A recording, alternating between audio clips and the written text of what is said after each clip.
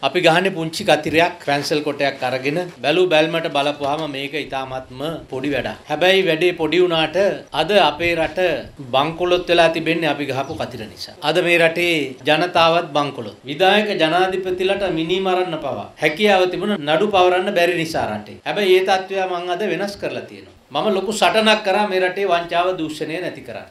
2007 COPE කාරක සභාවේදී මම ඉදිරිපත් කරා කෝටි 30000ක් දේශපාලඥයෝ කොහොමද ජනතාවගේ සම්පත් මංකොල්ල කෑවේ කියලා. දූෂණයට විරුද්ධව කතා කරනවට කවුරුත් මේ රටේ හිටපු නායකයෝ අකමැතියි. එතකොට මේ රට වෙනස් කරන්න නම් අපිට ප්‍රබල වෙනසක් කරන්න ඕන නීති රාමුව ඇතුලේ. කවුරුත් බාර ගන්න කෙනෙක් නැහැ කියපු නිසා තමයි අපි මේ රට බාරගන්නේ. නයිද පොළොංගුද මුගටිද කියලා අපි බැලුවේ නැහැ. රනිලොත් එකතු වුණා, තවත් අය එකතු වුණා අපි 20 දෙනෙක්ගේ කැබිනට් මණ්ඩලයෙන් තමයි මේ රට අද මේ අවුරුදු දෙකක් තුල මේ තත්ත්වයට ගෙනාවේ.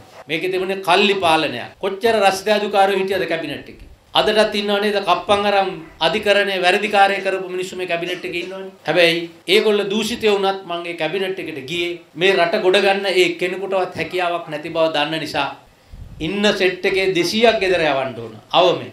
මගේ ප්‍රාර්ථනාව ඒක. අලුත්ම මේ රටට කණ්ඩායමක් ඕන පාර්ලිමේන්තුවට